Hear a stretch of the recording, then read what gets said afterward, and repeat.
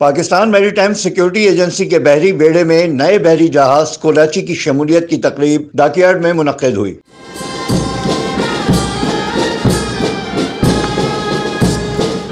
तकरीब के मेहमान खसूसी विफाकी वज़ीर दिफा परवेज कटक का कहना था, कोलाची की तैयारी हमारी दिफाई खुद इसारी और जहाज़ साजी की जानब अहम पेशरफ है कोलाची पाकिस्तान मेरी टाइम सिक्योरिटी फ्लैट में शमूलियत इस लिहाज से मुनफरद व इतमान और ख़ुशी का सबब है कि इसको पाकिस्तान में ही बनाया गया है, जो कि हमारी दिफाई, खुद नसारी और जहाज़ साजी की जानब एक इंतहाई और अहम पेश रफ्त है।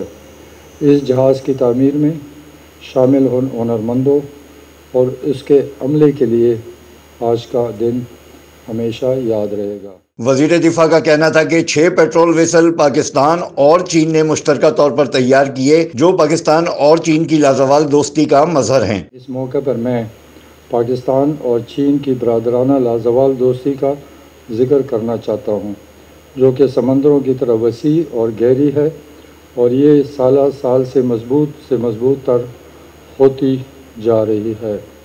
हमारी दोस्ती इस बात की गवाही देती है कि मुश्किल हालात में हम एक दूसरे के शाना बशाना खड़े खड़े रहे और हर किस्म के हालात का डट कर मुकाबला किया। कोलाची पेट्रोल वेसल सीरीज़ का आखिरी जहाज़ था। तकरीब में आला फौजी, सिविलियन हकाम सबक D G P M S A और अवामी जमहूरिया चीन के कौंसल जनरल ने तकरीब में शिरकत की। Afzal Khan, C one ten news, Karachi. C one ten news खबर की असल खबर।